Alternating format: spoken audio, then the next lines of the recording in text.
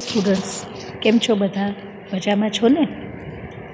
આપણે અંગ્રેજીની અંદર unit વનના quiz જે હતી, એ ક્વિઝના પહેલાં બે ભાગ જોયા.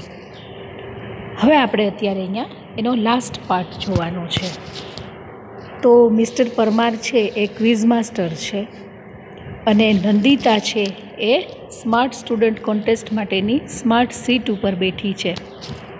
લાસ્ટ ક્વેશ્ચનની અંદર નંદિતાને હેલ્પલાઇનની જરૂર પડી અને એટલા માટે એણે એના આંટીને કોલ કર્યો હતો અને એણે લાઈફલાઇનનો ઉપયોગ કર્યો. અને છેલ્લે એનો આન્સર છે એ સાચો પડ્યો. તો મિસ્ટર પરમારે એને અભિનંદન પણ આપ્યા હતા અને મિસ્ટર બ્રાઇટ કે જે લેપટોપ છે, પણ એ આ ક્વિઝ પૂરતું સ્કોરર છે. આપણે એ શરૂઆતના ભાગની અંદર જોયું જ છે. તો એમણે સ્કોર પણ આપ્યો હતો. અને એમાં નંદિતા છે એ સરસ વિન કરે છે અને એને ગિફ્ટ પણ મળે છે. Nandita is very happy for that એને બહુ ખુશી છે એ વસ્તુની કે એ આ સ્માર્ટ સીટ ઉપર આવી કારણ કે એ ઘણા બધા વખતથી ટ્રાય કરતી હતી. અને પાછો એનો આન્સર છે એ એમાં થોડીક એને તકલીફ હતી. એટલે એને સાચો આન્સર પડ્યો ને ગિફ્ટ માટે એ એલિજિબલ થઈ અને પાત્રતા મળી ગિફ્ટ માટેની. એટલે નંદિતા ખુશી પણ વ્યક્ત કરે છે કે આઈ કાન્ટ બિલીવ ધીસ હું આ વસ્તુ માની નથી શકતી. આ જે વાક્ય છે, આ વાક્ય છે એ કોઈ પણ આશ્ચર્ય વ્યક્ત કરવા માટેનું વાક્ય છે. પણ વિધાન વાક્ય તરીકે મૂકાણું છે. કારણ કે આશ્ચર્યવાળું વાક્ય છે એ ઉદ્ગાર ચિહ્નવાળું હોય, એમાં ક્રિયાપદ છેલ્લે આવ્યું હોય. તમે સાતમા ધોરણમાં ભણી ગયા છો. પણ અહીંયા ભાવ છે એ ઉદ્ગારનો છે સરપ્રાઇઝનો છે, પણ વાક્ય વિધાન આપેલું છે. અહીંયા સબ્જેક્ટ તરીકે આય આપ્યું છે. અને કાન્ટ બિલીવ એ એનું ક્રિયાપદ છે. પછી કે છે થેન્ક યુ સર અને થેન્ક યુ આંટી સરને પણ થેન્ક યુ કે છે મિસ્ટર પરમારને અને આંટીને પણ થેન્ક યુ કે છે, કારણ કે એણે હેલ્પલાઇન આંટીને ફોન કરવાની લીધી હતી. આ બંને જે શબ્દો છે મીન્સ સેન્ટેન્સીસ છે, એને કહેવાય છે નાઇસિટીસ આ મેં તમને આ પહેલાં પણ જ્યારે જ્યારે નાઇસિટીસ વાક્યની અંદર આવી ત્યારે મેં કીધું હતું. કોઈ પણ પ્રકારની શુભેચ્છાઓ આપવામાં આવી હોય તો એને નાઇસિટી કહેવામાં આવે છે. તમને ખાસ ફંક્શન્સની અંદર આ વસ્તુ દસમા ધોરણમાં પૂછાય છે. એટલે થોડા તમે એનાથી પરિચિત થાવ, એ જરૂરી છે. તો થેન્ક યુ સર અને થેન્ક યુ આંટી એ બંને ફંક્શનની દ્રષ્ટિએ શું છે? તો કે કે નાઇસિટીઝ છે. ઓકે હવે મિસ્ટર પરમાર કહે છે કે okay Nandita keep it up આ વસ્તુ તું આગળ રાખ. તું બે ક્વેશ્ચન સરસ રીતે આગળ નીકળી ગઈ છો. Now this is third question અને હવે આ જે છે, એ ત્રીજો પ્રશ્ન છે. ત્રીજો પ્રશ્ન તું પસાર કરી લઈશ એટલે શું થશે? આફ્ટર ધીસ આના પછી મિસ્ટિક મિસ્ટિક કે જે એની સમય મર્યાદા છે વિલ નોટ ડિસ્ટર્બ યુ એ તને ડિસ્ટર્બ કરશે નહીં, એ તને ખલેલ પહોંચાડશે નહીં. આ વાક્યમાં મિસ્ટિક છે એ સબ્જેક્ટ છે અને વિલ નોટ ડિસ્ટર્બ એ સામાન્ય ભવિષ્યકાળ છે અને નકાર વાક્ય છે. નોટ જ્યારે વાક્યની અંદર આવે છે ત્યારે નકાર વાક્ય થાય છે. ફરીથી કહું છું કે નો નહીં પણ નોટ આવે અને ક્રિયાપદની વચ્ચેના ભાગની અંદર આવે તો એ નકાર વાક્ય કહેવાય. તો અત્યારે અહીંયા ક્રિયાપદની વચ્ચે આવ્યું છે કે will plus not plus disturb તો અહીંયા જે આ નોટ આપ્યું છે એને લીધેથી આ વાક્ય કેવું બને છે? નેગેટિવ સેન્ટેન્સ બને છે. ઓકે. તો after this Miss Tick Tick will not disturb you પછી કહે છે કે ઓકે લેટ્સ સી ચાલો, આપણે હવે આગળનો ક્વેશ્ચન છે એ જોઈએ. આ લેટેસ્ટથી શરૂ થતું વાક્ય જે છે, એ વાક્ય દરખાસ્ત મૂકે છે. દરખાસ્ત મૂકે છે એટલે કે હવે પછી આપણે શું કરવું છે? એના માટેનું જે રજૂઆત કરવામાં આવે, એ આ પ્રકારના વાક્યથી થાય. આ જે લખાયેલું છે, લેટ્સ, એ એનું ટૂંકું રૂપ છે. આખો શબ્દ છે, લેટ અસ. તમે આ શીખી ગયા હશો. સાતમા ધોરણની અંદર લેટનો ઉપયોગ આવે છે કે let's decorate the room let's go to picnic, આવા જુદા જુદા વાક્યો છે એ તમે જોયા હશે. તો એ કોઈ પણ કામ કરવા માટેનું સૂચન વ્યક્ત કરે છે. ઓકે. હવે મિસ્ટર પરમાર છે એને નેક્સ્ટ ક્વેશ્ચન દેખાડે છે. નેક્સ્ટ ક્વેશ્ચન છે question number three amount of water amount એટલે પ્રમાણ અથવા તો માત્રા વોટર એટલે પાણી. ફ્લોઈંગ ઇન્ટુ ટેન્ક ફ્લોઈંગ એટલે વહેતું ઇન્ટુ ટેન્ક એટલે ટાંકી. ડબલ્સ એવરી મિનિટ ડબલ થાય છે એટલે કે બેવડાય છે એવરી મિનિટ એટલે કે દર મિનિટે.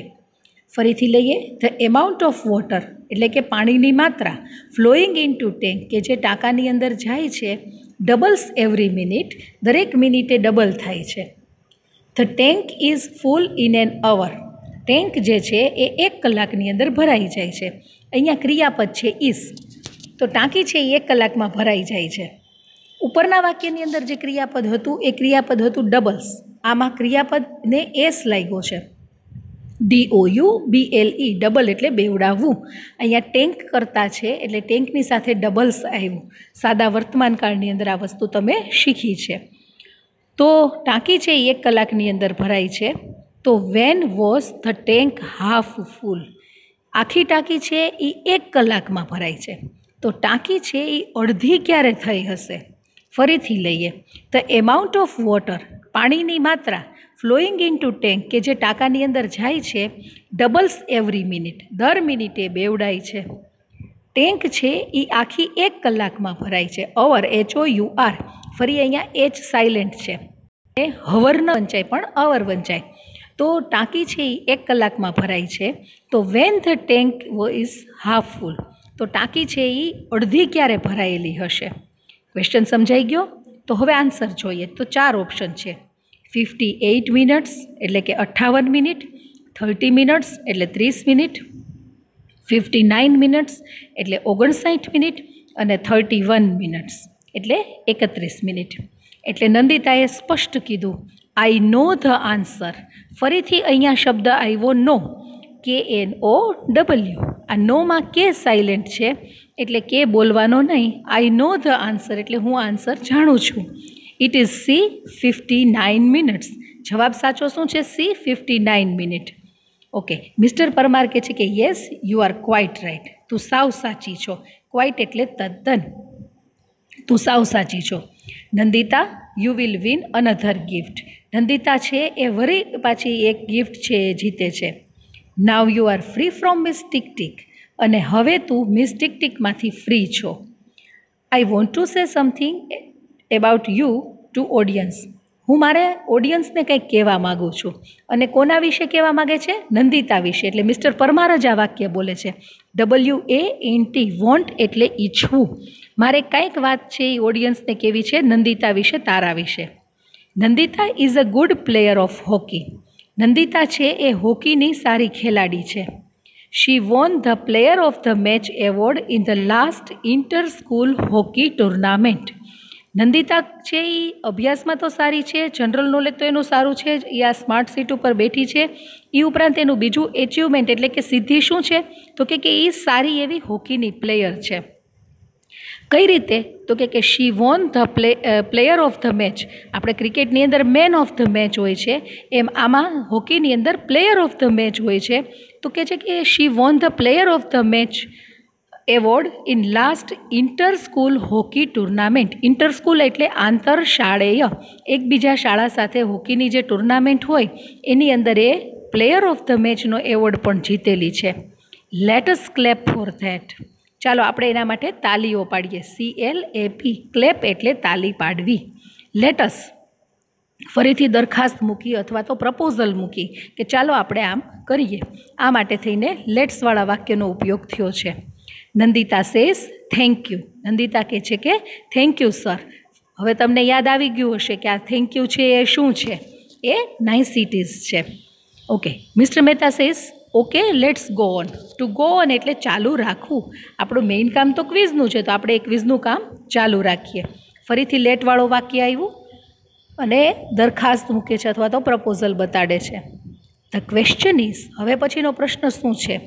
તો કે કે which gas do trees breathe in પ્રશ્ન એમ છે કે વિચ ગેસ તમને મેં ક્વેશ્ચન પ્રશ્નોચક શબ્દ છે, એનું લિસ્ટ મોકલાવ્યું હતું કે જ્યારે જ્યારે નિર્જીવ પદાર્થ અથવા તો પ્રાણીની વાત કરવામાં આવી હોય, એના માટે થઈને પ્રશ્ન પૂછવામાં આવે છે વીચ વડે?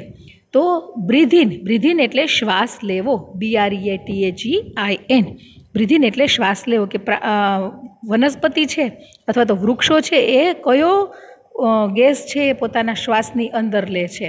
ઓપ્શન્સ આર, ઓપ્શન્સ ક્યાં ક્યાં છે? A oxygen, B carbon dioxide, C nitrogen અને ડી મિથેન.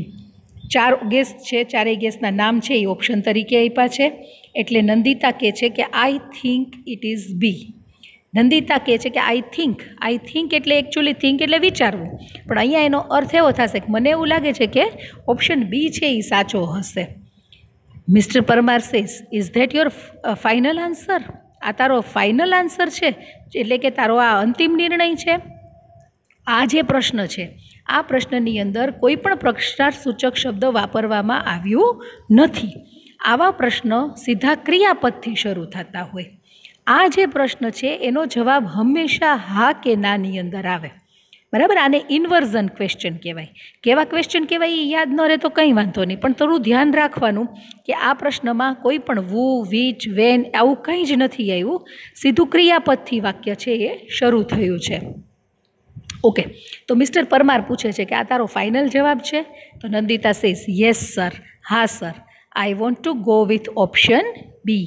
મારે ઓપ્શન બી છે એ પસંદ કરવો છે. હું ઓપ્શન બી મારો જવાબ સાચો છે એવું કહેવા માગું છું. Mister Parmar says let see ફરીથી આવ્યું લેટવાળું વાક્ય.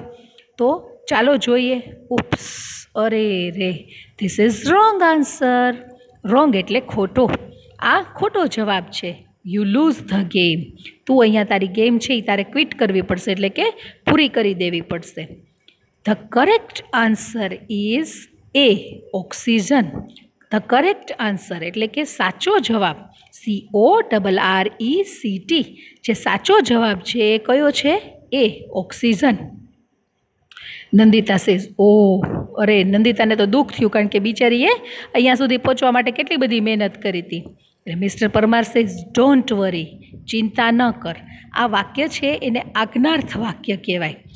કોઈ પણ વાક્યની અંદર આમાં પ્રેમથી કીધું છે, પણ સૂચના આપી છે. તો જ્યારે સૂચના આપવામાં આવી હોય તો એ ઇમ્પેરેટિવ સેન્ટેન્સ એટલે કે આજ્ઞાર્થ વાક્ય કહેવામાં આવે છે કે ચિંતા ન કર. વેલ પ્લેડ આ વેલ પ્લેડ છે એ નાઇસિટીઝમાં આવે છે. કેવા પ્રકારનું ફંક્શન છે? તો કે કે એ વખાણ કરે છે કોઈ પણ વસ્તુના. તો એના માટે થઈને નાઇસિટીઝ શબ્દ વપરાય છે. તો well played Dantita. Take your seat જો આ પણ આજ્ઞાર્થ વાક્ય છે, ક્રિયાપદથી શરૂ થયું છે. નંદિતા પછી ફૂલ સ્ટોપ છે અને ટેક યોર સિટી નવું વાક્ય છે. તો તારી જગ્યાએ બેસી જા. તો આજ્ઞાર્થ વાક્ય છે, એ મોટાભાગે ટૂંકા હોય, એની અંદર કરતા ન હોય, સીધું ક્રિયાપદથી જ શરૂ થતું હોય. અને સામાન્ય રીતે સાંભળનાર વ્યક્તિ છે એ, એનો કરતા માનવામાં આવે છે, પણ લખવામાં આવતો નથી. એટલે આ વાક્ય જો તમે અહીંયા ટેકથી શરૂ થયો. તો આજ્ઞાર્થ વાક્ય છે કે ટેક યોર સીટ તારી બેઠક ઉપર બેસી જા. આમાં તમને કદાચ એવું ન ફાવે કે આ કેવા પ્રકારનું વાક્ય છે, તો કાંઈ વાંધો નહીં. ખાલી તમારે વાક્યને ઓળખવાના છે. કારણ કે આનો જુદો જુદો ઉપયોગ આપણે બીજા ટોપિક્સની અંદર કરવાનો હોય છે. એટલે તમને ખબર પડવી જોઈએ કે આને આજ્ઞાર્થ વાક્ય કહેવાય. કે જે સીધું ક્રિયાપદથી આવી રીતે શરૂ થતું હોય. બરાબર? કદાચ એમાં કેવું વાક્ય હોય ને એ ન સમજાય, તો એમાં બહુ મૂંઝાવવું નહીં, કારણ કે આપણે ગ્રામર છે એ ડિટેલની અંદર ભણશું એટલા માટે. Okay now and other contestants keep your fingers on the buzzer હવે બીજા કન્ટેસ્ટન્ટ્સને કે છે. ફરીથી કહું છું કન્ટેસ્ટન્ટ્સ આપણે આ પહેલાં જ આવી ગયેલો શબ્દ છે કે સ્પર્ધકો. Keep your fingers on buzzer તમારી ફિંગર્સ એટલે આંગળી. બઝર ઉપર રાખો. Here comes the next question અને હવે નેક્સ્ટ ક્વેશ્ચન આવે છે ફોર ફાસ્ટ ફિંગર રાઉન્ડ કારણ કે નંદિતા છે એ ગેમ ક્વિટ કરી ગઈ. એટલે હવે નેક્સ્ટ ક્વેશ્ચન આવે છે ફાસ્ટ ફિંગર રાઉન્ડ માટે થઈને. પણ અહીંયા આપણો પાઠ છે એ પૂરો થાય છે. આના જે તમને સ્પેલિંગ્સ છે, એ સ્પેલિંગ છે એ હું તમને અલગથી મોકલું છું. તમારે ખાલી અત્યારે આ પાઠનું આટલું ગુજરાતી અને એની અંદર આવેલા આ જે વાક્યના પ્રયોગ છે, એને થોડા ધ્યાનમાં લેવાના છે. બરાબર છે? આની સાથે જે હોમવર્ક મોકલું છું, એની સાથે હું તમને સ્પેલિંગ મોકલીશ, એ તમારે તમારી પાકી નોટની અંદર લખી લેવાનું છે. ત્યાં સુધી take care and good bye